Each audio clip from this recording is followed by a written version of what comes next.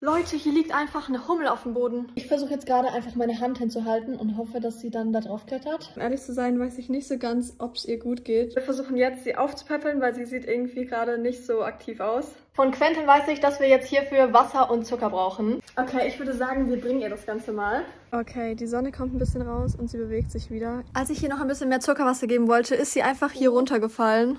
Ich frage mich, ob das hier im Blumenbeet halt gut ist oder ob ich sie lieber ins Insektenhotel machen soll. Das Ding ist, das Insektenhotel ist halt noch ein bisschen mehr windgeschützt. Sie hat sich dann aber fürs Blumenbeet entschieden. Leute, sie krabbelt schon wieder. Ihr ging es zuletzt wieder richtig gut und ich war so happy darüber.